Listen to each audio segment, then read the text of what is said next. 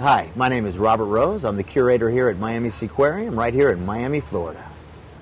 The dolphin has approximately 44 conical shaped teeth.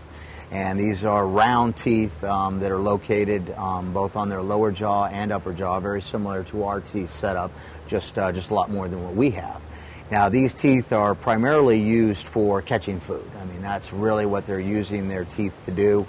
Uh, they swallow their food whole, so there's really no chewing that's actually involved with their teeth. They're used to just grasp that fish, which is their primary diet, hold on to it, and then able to, uh, to put it back um, into the stomach for their digestion process. So about 44 teeth, and uh, as I said, they're round and primarily used for, for grasping.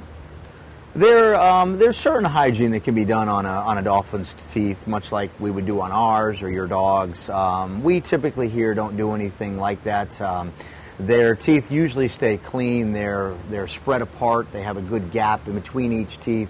They don't chew their food, so it's not like you and I where you would be getting pieces of food stuck between their teeth. Um, for the most part, the animal's teeth stay very, very clean um, usually are not associated with uh, a lot of problem, tooth problems.